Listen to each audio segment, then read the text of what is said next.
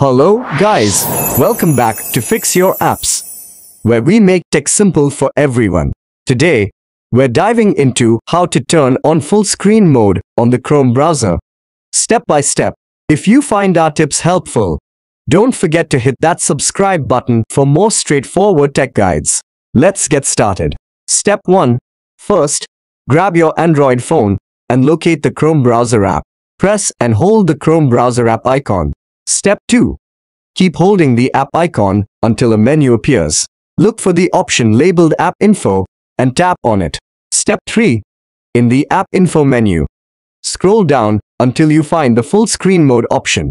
This setting allows you to enable or disable full screen mode for Chrome. Step 4. Once you see the full screen mode option, simply tap on it to turn on full screen mode. And that's it. You've successfully turned on full screen mode on the Chrome browser.